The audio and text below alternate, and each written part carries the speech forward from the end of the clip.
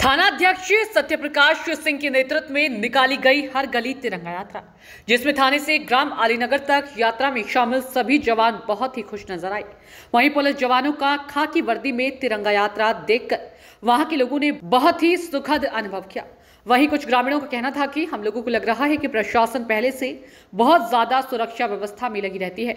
हम लोग प्रशासन के इस कार्य से बहुत खुश हैं। हमने इस तरह से पुलिस बल का तिरंगा यात्रा, अमृत महोत्सव कभी नहीं देखा।